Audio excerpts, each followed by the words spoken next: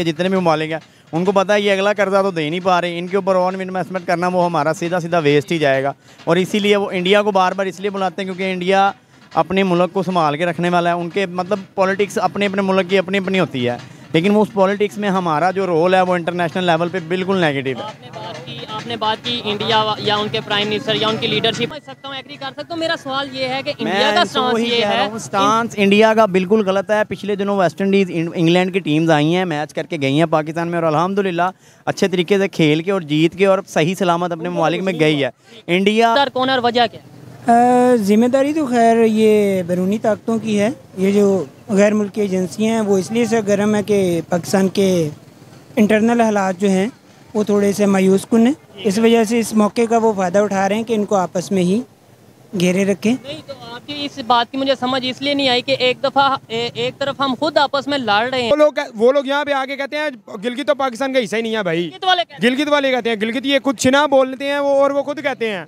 और वो कहते हैं पाकिस्तान का हिस्सा नहीं है। हमारे दोस्त हैं काफ़ी ज़्यादा जो ये चीज़ कहते हैं। जो पाकिस्तान के क्योंकि उनका माइंडसेट कुछ ऐसा बना दिया वो कहते हैं पाकिस्तान तिरंगा नहीं है भाई हमारे हम पाकिस्तान में है ही नहीं। या इवन पूरे पाकिस्तान में इशू होता है इंडिया को तो सबसे पहले हम लाते हैं। मैंने इसलिए अभी इंडिया का नाम नहीं था लिया मैंने अमेरिका और यूएस उसका इसराइल का लिया फिर इंडिया को ले आए। अच्छा ये बताएँ इंडिया को इसका फ़ायदा क्या होगा? और सेकेंडली ये अटैक बलोचिस्तान में ही क्यों करवाए जाते हैं? ये लेट्स सपोज़ अगर इंडिया ने बलूचिस्तान में अटैक करवाया तो वो लाहौर में क्यों नहीं करवा देते? वो गुजरावाला में वो इस्लामाबाद में क्यों नहीं करवा देते? खान साहब ने कहा था खान साहब ने कहा था कि मैं अवाम को ऊपर लेके आऊँगा। ठीक है मानता हूँ।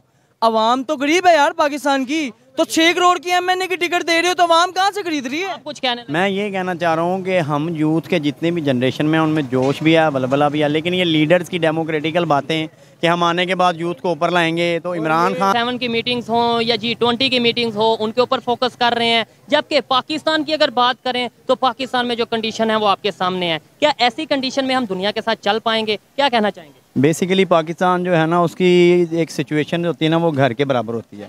घर में एक ही सरबरा होता है। जिस घर में हर बंदा खुद मुख्तार हो जाए ना तो उस घर की बुनियादें टूटती हैं। ये पाकिस्तान की सिचुएशन इस वक्त इतनी ख़राब हुई हुई है इतनी ज़्यादा पार्टीज़ हुई हुई है पता ही नहीं लगता कौन पॉजिटिव जा रहा है कौन नेगेटिव है कौन सही है कौन गलत है। हम तो खुद इस सिचुएशन में फंस गए हैं। माइक पे जो भी आता है वो इतने बड़े बड़े वादे कर देता है इतनी बड़ी बड़ी कस्में खा लेता है और फिर बाद में जब जज्बाती नारे जज्बाती नारे लगाते हैं। नॉर्मल आवाम जो होगी, हमारी जो मतलब यूथ ये हो गए हैं यूथ जनरेशन हो गए हैं, उनका यूज़ कर लेते हैं। उनको बीच में डाल के उनसे मुल्क में ही तोड़ फोड़ करवाते। मैं मैं ये सोच के हैरान होता हूँ कि अपने मुल्क की फलाह के लिए हम अपने मुल्क को तबाह कर रहे हैं। हमें ये नहीं समझ आ रही हम किसका साथ दें, किसका साथ ना दें। ठीक है? इस टाइम पब्लिक ओवरऑल कंफ्यूज है। अगर बात करें, अभी जी सेवन की मीटिंग होने जा रही है, जापान में हो रही है। ठीक है? वहाँ पे जो जी सेवन के मेंबर हैं, उनके अलावा इंडिया इससे मेंबर नहीं है, लेकिन फिर भी उनके प्राइम मिनिस्टर को इनवाइट किया गया और एक दफ़ा नहीं, चार, पाँच दफ़ा इनवाइट किया गया। क्या समझते हैं आप कि कैसे ये पाकिस्तान भी इंटरनेशनल लेवल पे अपना एक इमेज बेहतर कर पाएगा? हम भी फखर से ये कहने वाले बनेंगे कि भाई, हम इंफ्रास्ट्रक्चर के ऊपर काम कर रहे हैं, हम डेवलपमेंट के ऊपर काम कर रहे हैं, हम आपस में नहीं लड़े जैसे कोई नेबर कंट्री है इंडिया है या कोई भी तो वो मसला असल यही है ना कि हम डेवलपमेंट की तरफ़ तो जा ही नहीं रहे। हम सिर्फ़ तबाही की तरफ़ जा रहे हैं हम लड़ाई की तरफ़ जा रहे हैं हम दूसरी कंट्रीज़ की तरफ़ देख ही नहीं रहे ना ही हम उनको कॉपी करने की कोशिश करते हैं कि अगर वो अपने मुल्क में तरक्की करने वाला कोई काम करे तो हम चलो उस जैसा नहीं कर सकते तो उसके अल्टरनेटिव को थोड़ी बहुत तो तरक्की कर सकते हैं। तो बेहतरी कर लें। बस वही तो हम नहीं ना करते हम आवाम को डिफरेंट पॉलिटिकल एजेंडों में मसरूफ़ रखते हैं उनसे मुल्क में तबाहियाँ करवाई रखते हैं जिसकी वजह से दूसरे ममालिक वो डर जाते हैं। उनके उनके फेस नहीं जाते ये आपने गलत बात किया कि दूसरे मालिक डर जाते हैं वो इधर आने से गुरेज करते हैं कि भाई हम डर जाते हैं कि जो लोग अपने घर को ही तबाह कर सकते हैं वो हमारे साथ पता नहीं कितना बुरा कर देंगे ही है। हम इस वजह से नहीं बुरा सकते। वो सोचेंगे हम कल को पाकिस्तान में जाके इन्वेस्टमेंट करते हैं। बड़ी बड़ी मल्टीनेशनल कंपनीज़ हैं वो सोचेंगे हम पाकिस्तान में जाके इन्वेस्टमेंट करते हैं तो हमारा पैसा भी डूबेगा और हम भी हमारी जान की भी कोई गारंटी नहीं है। वो इसीलिए ना मुल्क को हमारे सियासतदानों ने मकरूज ही इतना कर दिया हुआ है कि वो उनको पता है सब बाहर के जितने भी ममालिक हैं उनको पता है ये अगला कर्जा तो दे नहीं पा रहे। इनके ऊपर और इन्वेस्टमेंट करना वो हमारा सीधा सीधा वेस्ट ही जाएगा।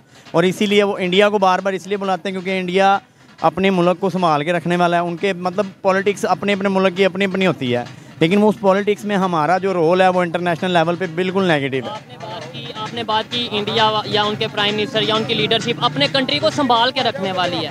उनकी आबादी है तकरीबन एक अरब चालीस करोड़ पैंतालीस करोड़। ऐसे ही है हमारी आबादी अभी लेटेस्ट जो सर्वे हुआ है उसके मुताबिक चौबीस से पच्चीस करोड़ है। हम चौबीस पच्चीस करोड़ को नहीं संभाल पाए। वो इतनी बड़ी आबादी को कैसे संभाल रहे हैं कैसे डेवलपमेंट की तरफ़ लेके जा रहे हैं कैसे उनका इमेज इंटरनेशनली बेहतर हो रहा है। इसके ऊपर जो बेसिकली जो चीज़ असरअंदाज होती है ना वो लीडर होता है। और विजन विजन वही बात है ना लीडर अपना विजन आवाम के साथ क्लियर रखेगा उनको सही रास्ते पे लगाएगा तो आवाम एकजुट होकर चलेगी। यहाँ दस लीडर हैं दस लीडरों ने आवाम को चौबीस करोड़ के आवाम को बांट के रखा हुआ है। वो आवाम ही आवाम की दुश्मन हुई पड़ी है। वो एक दूसरे का साथ देने को तैयार ही नहीं है। हर किसी को एक, मतलब लूटने की पड़ी है। इधर से अगर गवर्नमेंट रेट पाँच रुपये चीज़ का बढ़ाएगी तो आवाम आगे से उस रेट चीज़ का रेट पचास रुपये बढ़ा देगी। हैं गवर्नमेंट की तरफ़ से है। मतलब वही ना मुफलिसी को भूल चुके हूँ मैं।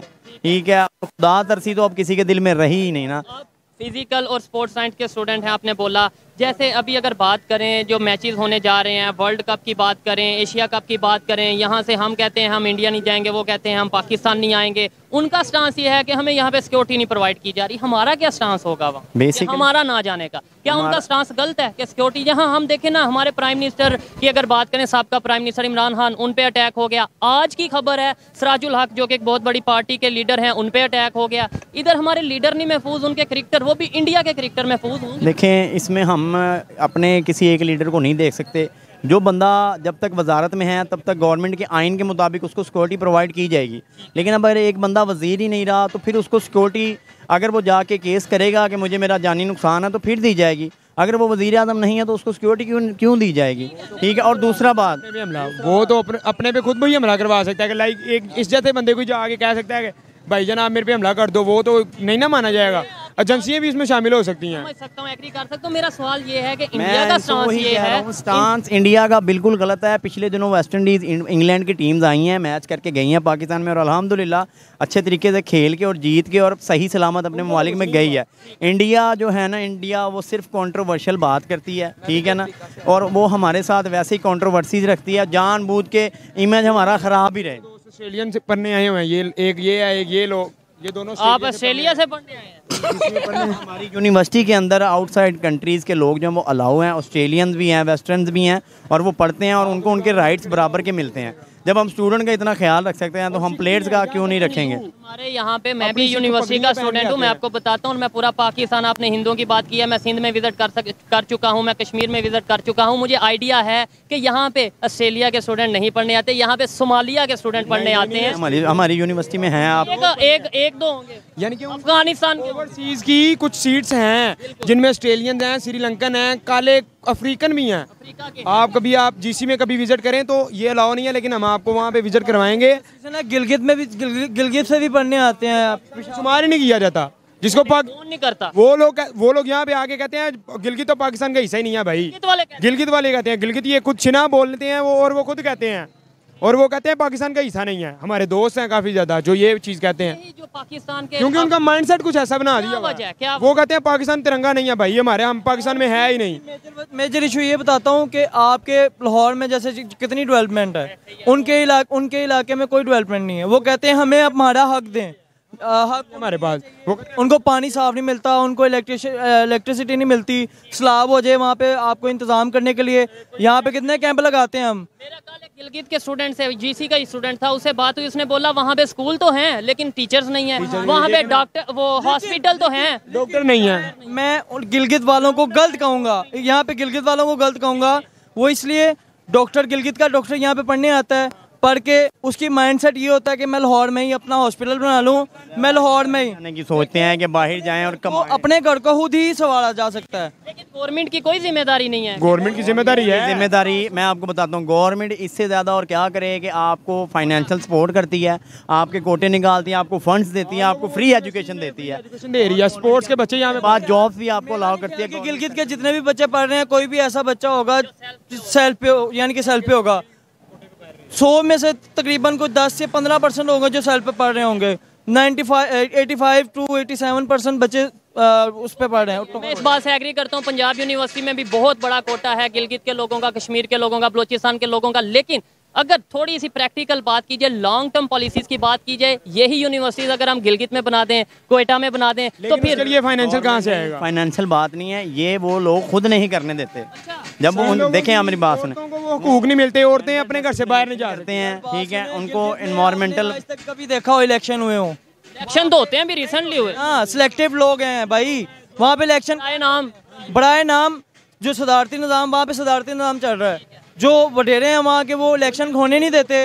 और वही अगर इलेक्शन होंगे कोई कोई अच्छा आएगा। अगर कोई इलेक्शन होंगे तो कोई वैसे ही बंदा आ जाएगा।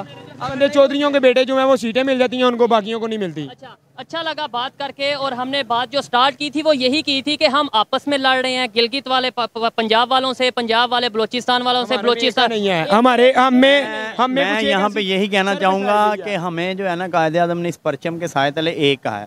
तो हमें एक हम एक हैं। नहीं है ना वो इसी की वजह है कि पार्टीज़ जो है ना पार्टीज़ बहुत ज़्यादा हैं। इस चीज़ को इस कॉन्फ्लिक्ट्स को ये सारी कंट्रीब्यूशन जो है इसको ख़त्म करके एक पाकिस्तान का नारा लगा के तमाम पाकिस्तानियों को पॉजिटिव होकर सोच के अपने इमेज को करेक्ट करना चाहिए और अपने साथ अपने साथ और अपने मुल्क के साथ लॉयल होना चाहिए ठीक है? और अपनी जो इस्लामी इकदाम हैं उनको पूरा करें और अपने हक अपने तक रखें दूसरों का हक उनको दें और अपनी मर्ज़ी से महँगाई वगैरह ना करें। कुछ कहने लगे। ठीक है। यार वो बोल गया। भूल गया। चले खैर अच्छा लगा इनसे बात करके और आप लास्ट में कुछ कहना चाहेंगे कि कैसे हम आपस में ये लड़ाई बंद करेंगे और इंटरनेशनल लेवल पे इमेज बेहतर होगा? हम इंडिया को लेवल देखते पे हैं। तब भी इमेज बेहतर हो सकता है ना जब भाई हम एक दूसरे को बुरा कहना खत्म कर देंगे। सबसे बड़ी बात ये है। मैं कहता हूँ ये नहीं सही ये कहता ये नहीं सही वो कहता वो नहीं सही। जब तक हम एक दूसरे को साथ जो कर रहे हैं उसको करते रहने दो। आप उसको सही नहीं कर सकते। इख्तलाफ रखना भी है तो रखें। हाँ जी। लेकिन जिधर पाकिस्तान की बात आए भाई यहाँ पे फिरका वारियत इतनी ज़्यादा है। अब फिरके वारियत उसके बाद पीटीआई वाले कहते हैं नून लीग नहीं सही। अब मैं एक चीज़ जानता हूँ पीटीआई के ये लोग कोर कमांडर के घर घुस गए हैं। मुझे हाँ, हाँ, आप मुझे या आप ये बात बताएँ कोर कमांडर के घर घुस गए हैं। फौजी लोग यहाँ पे ऐसे खड़े हुए हैं। क्या फौजियों को ज़्यादा नहीं है कि उनको पकड़ें? और जो मोर उठा के ले गए आज वो पकड़ा गया कल रात को। ये कैसे हो गया? लेकिन आपको एक छोटी सी बात बताता हूँ एक छोटी सी बात है क्लास वाले जो है ना वो आपस में मिलके यानी कि हम टीएलपी पीटीआई और पीएमएल नून की बात करते हैं कोई वो आपस में मिलजुल के नहीं रहते। हमारे यानी कि सरबराह हैं उनको मिलजुल के रहना चाहिए ताकि हमारे निज़ाम जो है वो अच्छे तरीके से लगे। ठीक है? फॉलोअर्स हैं वो भी मिल के रहे? और दूसरी बात इसी में इसी इस, इसी बात को एग्जांपल से बताता हूँ क्लास की एक छोटा सा यूनिट होता है। कहते हैं कि यूनिवर्सिटी जो है ना वो आपकी कबर तक यूनिवर्सिटी का जो दोस्त है ना वो आप हाँ यूनिवर्सिटी का सिस्टम जो है जो आपके करीब है यूनिवर्सिटी में चार साल की ज़िंदगी है लेकिन उन्होंने कवर तक आपके साथ चलना होता है। तो वो लोग आपस में नहीं रह सकते वो लोग आपस में नहीं रहते। हाँ और मैं आखिर में सिर्फ़ इतना ही कहना चाहता हूँ जो मैं पहले कहना चाह रहा था वो ये है कि हाँ जो स्टूडेंट्स हैं ना उनको चाहिए कि पॉजिटिव वे से अपना अच्छा तरीके से लेके चलें करें ताकि आप लोगों ने आगे आना है और आप लोग आगे अच्छा परफॉर्म करें। सारे मामले पार्टीज़ में बटे बात रही जो आर्मी के अगेंस्ट होने की आवाम और पब्लिक उनसे यही रिक्वेस्ट होती है कि आर्मी जो है ना आप लोग इस मेरी बात ड्यूटी करती है। उनके उनके अगेंस्ट जब जाते हैं जब हम उनको कोर कमांडर के घर जाते हैं ये है वो है ये इस तरह की नेगेटिविटी ना फैलाएँ कि आर्मी कुछ उखाड़ नहीं सकती कुछ कर नहीं सकती। कुछ रूल्स हैं कुछ आइन्स हैं।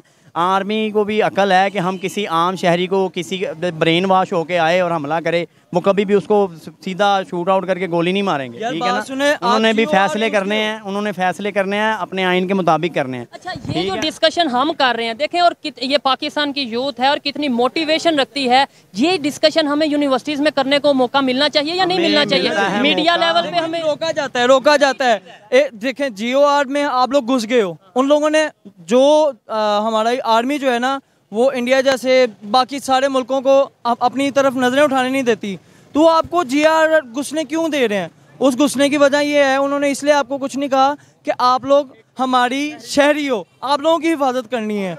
आप लोग आप लोग, आप लोगों को इसलिए उन्होंने कुछ नहीं कहा कि आप लोग उनके ही शहरी हो आप वो आपके ही मुहाफिज हैं। अच्छा, एक चीज़ और भी मैंने नोट की है जब से ये वाकया पेश आया है जना हाउस वाला कोर कमांडर के घर वाला मैं डेली इंटरव्यूज़ करता हूँ आपने शायद देखा ही हो मुझे कहीं पे तो तब पहले सब ये कहते थे पीटीई के साथ हैं हम ये कर देंगे वो कर देंगे। इस वाक्य इस वाक्य के बाद उन्होंने पीटीए को छोड़ दिया। जिससे बात कर रहा हूँ यही कह रहा है गलत हुआ कहीं डर तो नहीं गए? डर तो बात सुने बात सुने। सौ में से ना सौ में से तकरीबन कोई थर्टी परसेंट आवाम उसके साथ है। लेकिन मैं एज अ यानी कि शहरी सिटीजन को देखें मैं किसी भी जमात को सपोर्ट नहीं करता ना मैं लेकिन एक एक शख्स है की हैसियत से ना मैं इमरान खान को बहुत लाइक करता हूँ। वो इसलिए लाइक करता हूँ वो स्पोर्ट्समैन है मेरी डिग्री फ़िज़िकल एजुकेशन से है वो इसलिए मैं उसे लाइक करता हूँ। पॉलिटिशियन के तौर पे नहीं। देखें सारे चोर तो वही हैं सारे देखें खान साहब ने कहा था मेरे खान साहब ने कहा था कि मेरे लोग अभी दूध पी रहे हैं। जिन्होंने मुझे वोट डालने हैं वो अभी दूध पी रहे हैं। जब जब अठानवे में और सतानवे में उन्होंने इंटरव्यू में कहा था कि मेरे अभी जो वोटर है ना वो दूध पीते हैं। जब वो बड़े हो जाएँगे वो खुद ही मुझे वोट डालेंगे। आज अगर 2020 है वोट डालने वाले भी हैं। तेईस है दो हज़ार। और टिकट बेच खान साहब ने कहा था खान साहब ने कहा था कि मैं अवाम को ऊपर लेके आऊँगा। ठीक है मानता हूँ। अवाम तो गरीब है यार पाकिस्तान की। तो छह करोड़ की एमएनए की टिकट दे रहे हो तो आवाम कहाँ से खरीद रही है? आप कुछ कहने मैं ये कहना चाह रहा हूँ कि हम यूथ के जितने भी जनरेशन में उनमें जोश भी है बलबला भी है लेकिन ये लीडर्स की डेमोक्रेटिकल बातें कि हम आने के बाद यूथ को ऊपर लाएँगे तो इमरान खान से भी मैं बड़ा डिसअपॉइंटेड हुआ हूँ कि उन्होंने यूथ को लाना है। तो मेरा नहीं ख्याल कि शेख रशीद और ख्वाजा हसन साद रफ़ी ये लोग यूथ के बाद इसके अलावा तो ये लोग यूथ में नहीं है ठीक है ना? आपने अपनी पॉलिसी को चेंज करना ना तो अपनी planning pre planning post planning सारी चेंज करके यूथ को आगे लाएँ ताकि हमें ऑर्गेनाइजेशन पे जो बैन है वो खत्म किया ठीक है बैन की मसला तो ये है कि जब यूथ आगे आएगी तो बैन खत्म होगा ना। हम अपने राइट्स का सही यूज़ करेंगे तो हमारे बैन खत्म होंगे। वही लोग जो पिछले पचास साल से हुकूमत करते आ रहे हैं वो अपनी बेतुकी सोच से जो लोग कह रहे हैं जो दूसरों की माओ बहनों को जलील करते हैं वही हमारे लीडर हैं। हम उनकी छत्र छाया में रह के हम आगे कैसे बढ़ सकते हैं? लास्ट में आप ये मैं लास्ट भाई कह के आपका इंटरव्यू जो भी आप आगे करें। बात ये है कि देखें ये वही खान साहब हैं जिन्होंने 2021 में लामा खादिम सैनी जी साहब इस्लामाबाद में इन लोगों के साथ कहा था कि आप हाईकोर्ट के फैसलों को रद्द करने वाले कौन हो भाई? कौन हो? और मैं तो इसकी इजाज़त नहीं दूँगा कि हाई कोर्ट के फैसलों को रद्द किया जाए। और अब ये वही खान साहब हैं जिनको हाई कोर्ट ने फैसले किए हैं सुप्रीम कोर्ट फैसले किए हैं। और ये कह रहे हैं हम तो किसी सुप्रीम कोर्ट को नहीं मानते। भाई गलत है। मैं टीएलपी का सपोर्टर हूँ लामा खादिम सैनवीज का दस साल रहा हूँ। ठीक है? मैं इस्लामाबाद में शेलिंग भी हुई है हमारे पे हमने सीधी गोलियाँ भी खाई हैं। और अपी ने इन गुनागार हाथों से लोगों की लाशें उठा के अपने मेम्बरों की उस कंटेनर से भी डाली हैं। क्या हमारे साथ वो भाई नहीं थे? वो किसी माँ का बेटा नहीं था? वो किसी बहन का भाई नहीं था। करने वाले कौन थे? पा, बेशक आर्म पाकिस्तान की फोर्स थी या जो मुसलमान थे वो भी मुसलमान ही थे। क्या वो सिमर से बदते थे? यही चीज़ है। जब पाकिस्तान में आपस में लड़ाई होती है तब हम भूल जाते हैं कि भाई और तब हम ये कहना भूल जाते हैं कि भाई हाई कोर्ट के फैसले हाई कोर्ट के फैसले तब गरीबों के लिए हाई कोर्ट के फैसले सुप्रीम कोर्ट के फैसले और अमीरों के बच्चों के लिए हाई कोर्ट के फैसले रद्द हैं। यार जैसे गलत बात। जैसे जैसे फैसले पता है कौन करता है? फैसले हमारे जो ऊपर बैठी हुई एस्टेब्लिशमेंट जो ये जो जितने भी फैसले होते हैं वो सारे पीछे एस्टेब्लिश बैठी होती है। अब देखें टीएलपी में जो वाक्य हुआ उसके पीछे कौन था? अब मैं ये नहीं कहना चाह रहा